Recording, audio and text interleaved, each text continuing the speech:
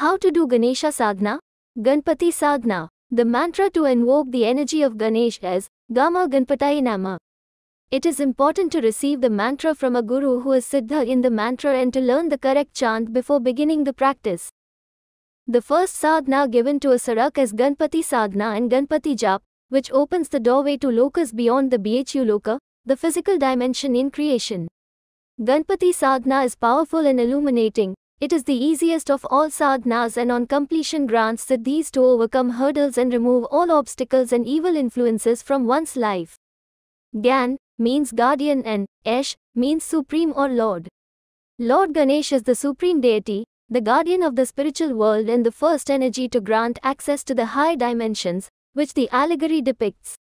Elephant head symbolizes supreme intelligence, the human body with large belly symbolizes a reservoir of energy stored in the Manipurak chakra at the navel. What are the benefits of Ganesh sadhana? Ganesh mantra sadhana is the best accomplishment which gives result immediately. If this is done systematically, one can remove his poverty for lifelong. Ganesh mantra. Financially, it is a significant accomplishment which makes the life of the family very smooth. Rules like Bhumi Shaya, eating sattvik, non salty, non spicy, non fried foods, maintaining strict brahmacharya must be followed. One must eat only one time a day and only after offering it to Lord Ganesha first. One must regularly feed cows, take blessings of his guru, do seva in temples, donate some alms every day to the poor. Doing this will give success in mantra sadhana more quickly. Whatever you desire, you will get. This includes health, wealth, intelligence, knowledge, freedom from diseases, akarshan, maran, mohan, stambham, uchchatan, vashikaran and absolutely anything else. This mantra doesn't require diksha. Method 1. Start this mantra sadhana from a Shukla Paksha Tuesday or a Chaturthi.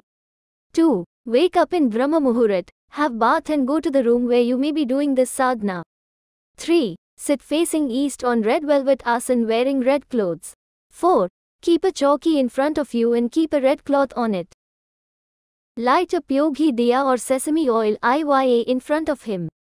7. Worship your Guru and chant at least 4 malas of Guru mantra.